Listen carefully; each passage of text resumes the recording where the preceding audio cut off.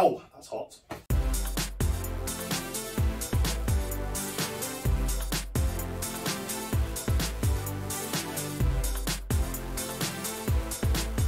Nailed it. Hello and welcome to. Oh, hang on, my apron. Hello and welcome to Neil Bakes 2020, episode 8. 8. We're doing another technical, the last technical in this book. Uh, the next two aren't in it, so going be using this book next week. Okay, we'll be making Sussex pond puddings. Never heard of them. No idea. Some very old with the creme anglaise. Look like that. They've got a lemon inside. It's weird. Why would you? Why would you put a whole lemon in? Um, it's got some weird ingredients. Suet ingredients. Self-raising flour. White breadcrumbs. Two lemons. Unwaxed. Milk. The previously mentioned vegetable suet. Unsalted butter. Light brown sugar. Double cream. Eggs. Caster sugar and vanilla extract. Recipe says a pod. Fun fact, I bought a vanilla pod last night from the shop. I'm not I'm lost already, I don't know where it is. Also need a steamer. Luckily I have this steaming vegetables is the best way to cook your vegetables. And it doesn't look great, but we we will see how it turns out. Okay, on your marks, get set, bake! Now I've never ever used this. What is it? What, what is it? Oh, just vegetable oil flour. I mean, this is old school. I mean, doesn't smell of anything. Oh god. Look at this, it looks really weird. I mean, it looks like something you'd put on the end of a fishing line. Wrapped everything. Now it's time to go. Sift the flour into a bowl and add the breadcrumbs. Okay. Add the breadcrumbs, lemon zest, and suet. This is 110 grams of self-raising flour. So we've got 50 grams of breadcrumbs, 75 grams of vegetable suet, one lemon zest. Uh, mix them up with 50 ml of water, then stir into the flour mixture to a soft but not sticky dough. Knead for one to two minutes, then divide the dough in half. Just add it in a bit at a time. You.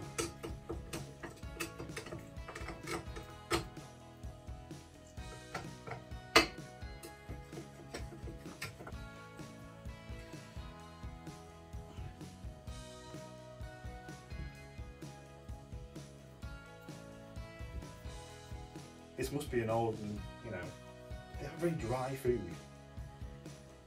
And like back in there, very dry food paper, put that in half. Okay, step two, one piece at a time. Break off a quarter of the dough, half, cover and set aside. Well, the larger piece on a floured work surface until it's seven, seven millimeters thick, and we'll line the first pudding mold.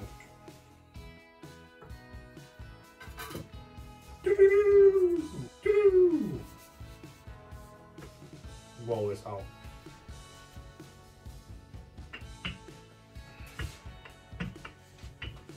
Okay, we've lined them. Put some greaseproof paper in the bottom so it doesn't stick to the bottom. Line it with butter. Should be alright. Stick it in.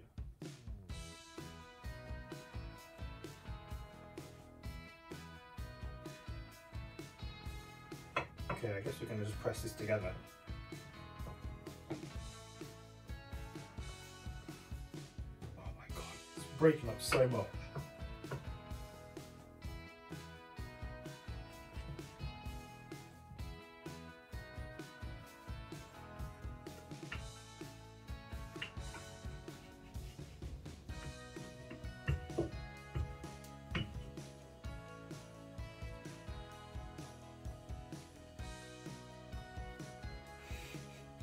How he's supposed to do this, I have no idea.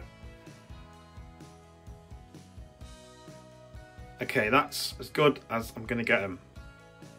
This is ridiculous. Now that they're somewhat made, some sort of bowl type thing, next one is make the filling.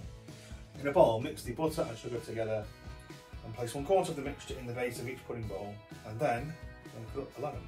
So we've got 125 grams Uh, of unsalted butter. Right there. 125 grams of light brown sugar. Beat this together. This might take about 5-10 minutes. Oh my god, I'm already hurting. Ow. do all by hand because they wouldn't have had any machines when they were making this in the I don't know 1700s.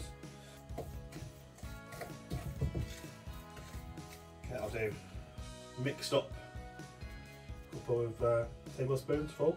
No idea.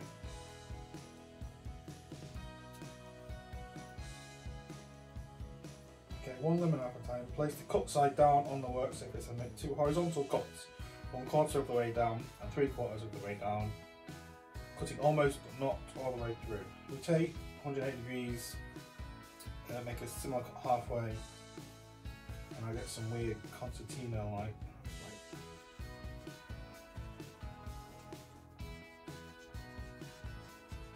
Halfway down. The other side. Yeah. Yeah, okay, that'll do. Place one lemon pointed end down in the pastry. Okay, so stick that in there.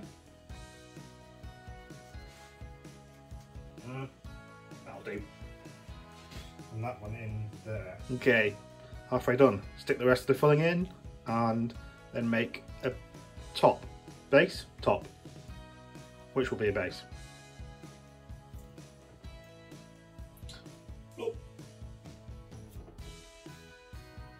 For the remaining pastry to make two lids, each the same thickness as the base. Push the pastry around the rim of the moulds with water, then top with the lids and press together firmly to seal.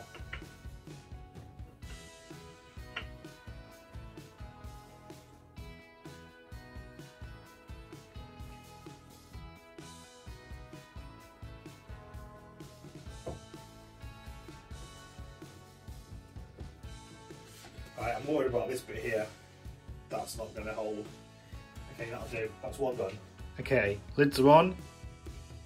Now I'm just got to make the protective casing over the top, then we'll steam them. 100% guarantee they will leak. I've got a hole here, there's a hole, definitely a hole in there. Okay, I've made some little foil and baking paper circles. Made them six centimeters larger than diameter at the top of the bowls because apparently you need to make a pleat in the middle. Guessing this is there to hold this in place.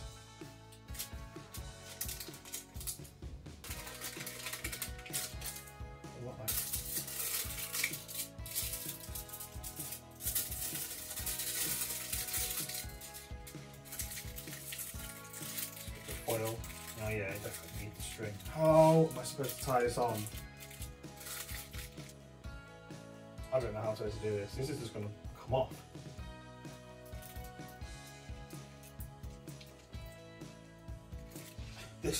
Ridiculous. How are you supposed to tie it up? So these, useless, not big enough. I'm to make it like this, with a bit more.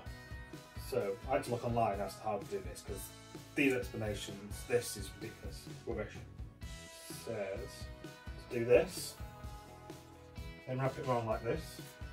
Oh, this is a bit better. Okay, one is done. This is taken, I'm pretty sure this is taken longer than actually making the pudding.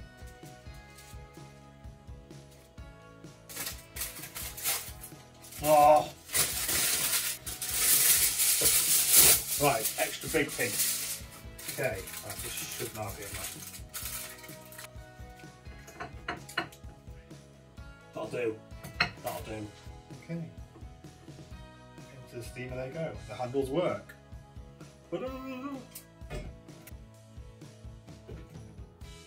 Oh, crap. Didn't think about this. They don't fit in the steamer. Okay. Got it stopped. Okay, we sorted it. managed to find a pan and I've shoved the steamer thing into it. So they're both steaming. Two hours, we'll be back. Update, they've been steaming for about an hour. This is a faff. I've had so many problems with this. One, pan at the front got stuck, so, oh, so I couldn't get it off, which meant that the water all, all evaporated, so I couldn't get it off and it was just burning the pan. It says in the recipe, top it up if necessary. You definitely need to top this up, top the water up. Okay, so I've got my two puddings steaming there. There's about 20 minutes left, 15, 20 minutes left. I'm gonna make the creme anglaise now. I'm gonna half the recipe that's in the book because it's too much that I'm gonna need. I'm not gonna need that much. So I've got 125 mils of milk in the pan, 125 mils of double cream, teaspoon and a half of vanilla extract. Got three egg yolks going into here, 30 grams of caster sugar going in. Yeah, whisk until pale and fluffy. Then pouring the warm milk mixture over the egg.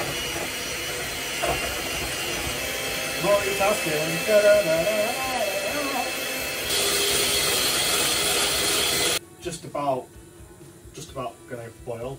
I'm going to pour in um, it drop by drop because I don't want to cook the eggs. It's very hot.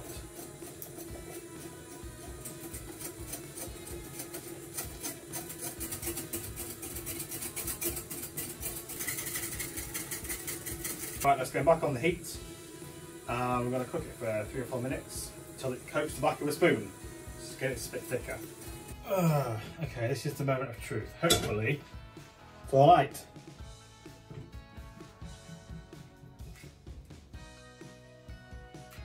I mean, the handles work pretty well. I'll leave those to cool. This is going back on the heat now.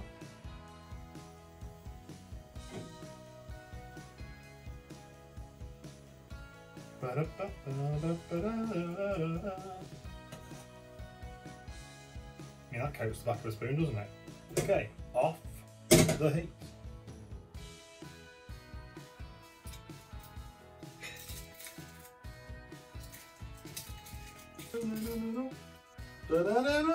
Oh, it's nice and brown.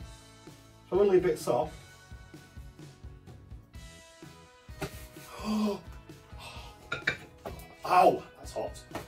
Literally just like this, guess. And then make sure I don't... Oh.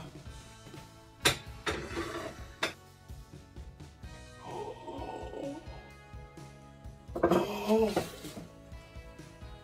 Yes! It's leaking.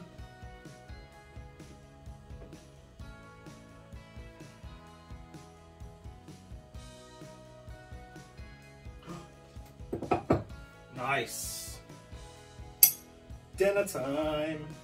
I mean, overall, amazing. I'm so happy they managed to turn out alright. They've got a bit of a dip in the middle. Honestly, I thought they would split completely because of the gaps that I put in it, but they didn't. Praise the Lord. If it oozes out with, with lemon and stuff. Oh, oh, oh, oh yeah I definitely see why I call it a pond as well. Look at all this. Okay, I put uh, my creme anglaise on, kind of doused it in it.